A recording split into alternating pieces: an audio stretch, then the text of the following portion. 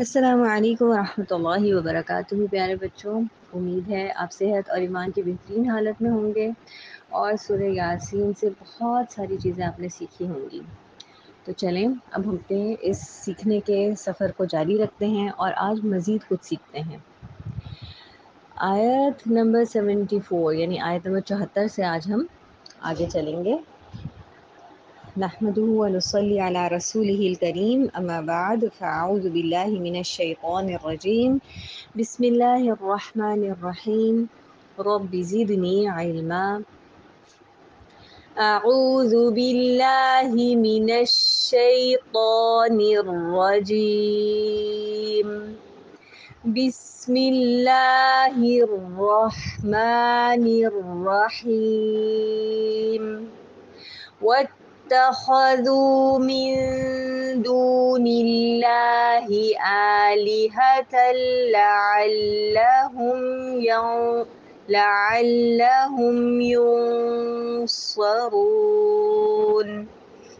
वत्तखज़ू और उन्होंने बना लिए मिंदूनी सवाए सिवाय अल्लाह ही अल्लाह के आलिहतन कई इलाह लाल्लहुम ताकि वो यूं सरून वो मदद किए जाएं तो यहाँ पे अल्लाह सुबहान ताला क्या कह रहे हैं? जैसे हम पिछले आय से कनेक्ट करके देखेंगे कि बजाय ये कि वो शुक्रगुजार होते अल्लाह सुबहान ताला के, उन्होंने क्या किए?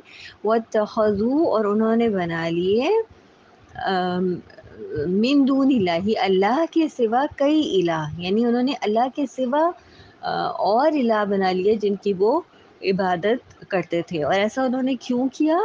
ताकि वो खुदा, वो जो दूसरे उन्होंने बनाए हैं, वो उनकी मदद करें।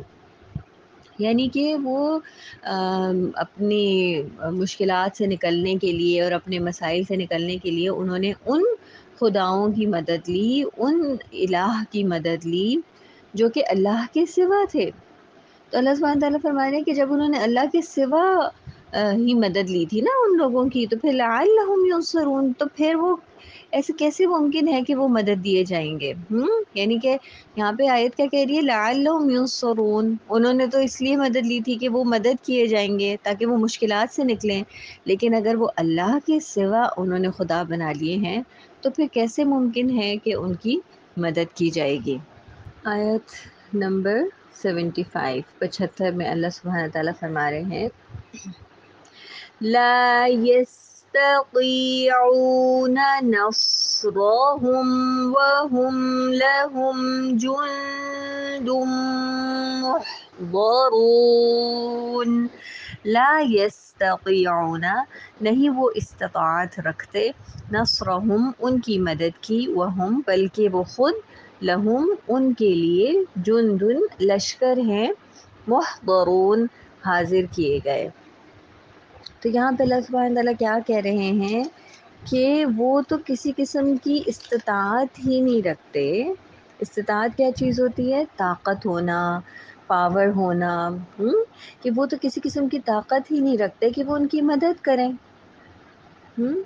ये जो बुत हैं या ये जो जिनकी, जिन्होंने, जो इन्होंने इलाह बनाए हुए हैं, ये समझते हैं कि ये इनकी मदद करेंगे तो ये जो बुत हैं, ये तो किसी किस्म की कोई ताकत ही नहीं रखते कि इनकी मदद करें और इसके इसके बरस क्या हो रहा है कि ये जो जो उनकी इबादत करते हैं, यानी ये जो मुशरकून हैं ये क्या करते हैं ये इनके लिए एक ऐसे हैं कि गोया कि कोई लश्कर हो, कोई आर्मी हो, कोई सोल्जर्स हों जैसे हुँ? जो क्या कर रहे हैं जो अपने बुतों की हिफाजत कर रहे हैं आ, अपने बुतों के लिए हमेशा हाजिर हैं उनकी खिदमत कर रहे हैं उनको साफ़ सुथरा करते हैं आ, उनको प्रोटेक्ट करते हैं उनको बचाते हैं किसी भी किस्म की गंदगी से या नुकसान से या गिरने से हर तरह से बचाते हैं। तो अल्लाह सुबहान फरमा रहे हैं कि ये तो खुद इनकी खिदमत कर रहे हैं तो ये इनकी क्या मदद करेंगे? आइडल्स इनकी मदद कैसे करेंगे? इनके तो फॉलोअर्स ही जो हैं, इनको जो फॉलो करने वाले हैं, इनको, इनकी इबादत करने वाले हैं, वो तो ख़ुद उनके लिए जो है, उनकी खिदमत कर रहे हैं। तो ये किसी भी तरीके से इनके लिए मददगार नहीं हो सकते। और फिर इस शिकायत का मतलब और भी है कि इन्होंने तो इनको इसलिए अपना खुदा माना हुआ है ना, इन बुतों की इसलिए ये इबादत करते हैं कि ये इनकी मदद करेंगे। लेकिन इसके बरक्स क्या होगा? रोज़े क़यामत तो इसके बिल्कुल ऑपोज़िट होगा, इसके बरक्स होगा। और वो क्या होगा?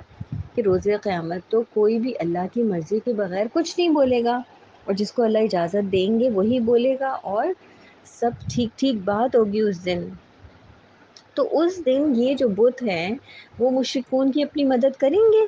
क्या उनके हक़ में बोलेंगे? नहीं, बल्कि वो तो उनके ख़िलाफ़ बोलेंगे, वो तो उनके अगेंस्ट बोलेंगे। और इस तरह से क्या होगा कि ये जो बुत हैं, वो किसी भी किस्म का उनके दिल में कोई भी हमदर्दी का जज्बा नहीं रखेंगे जो उनकी इबादत करते थे।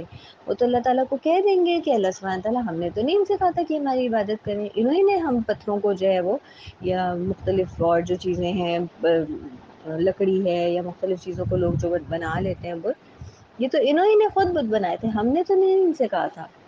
तो फिर क्या फ़ायदा ऐसी चीज़ की इबादत करने का, जो ना आपको दुनिया में फ़ायदा देगी और ना आखिरत में फ़ायदा देगी? आयत नंबर छिहत्तर, फ़ला कौलुहुम, इन्ना नअलमु मा युसिर्रून व मा युअलिनून। इन्ना बस ना यहज़ुन का गमगीन करे आपको।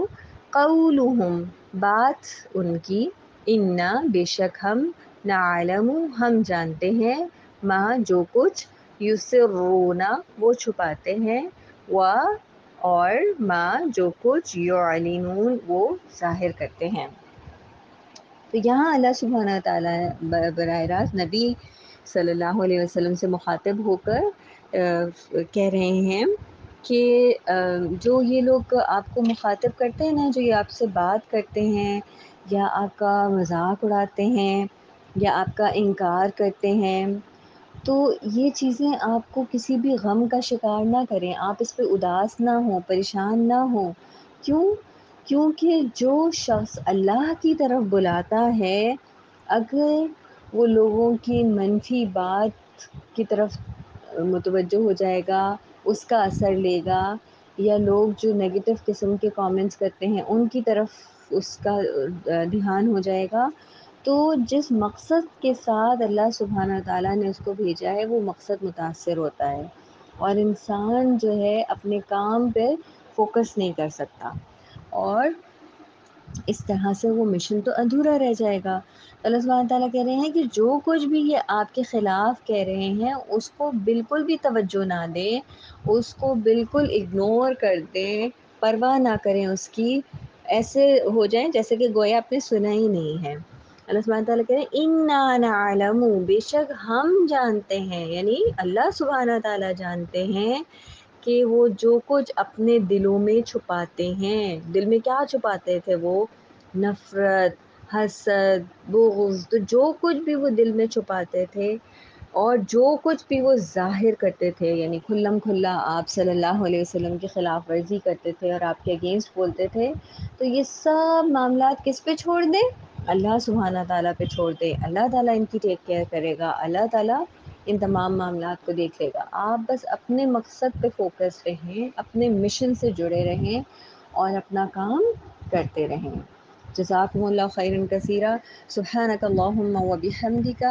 अशहदु अल्ला इलाहा इल्ला व अतूबु इलैक। अस्सलामु अलैकुम व रहमतुल्लाहि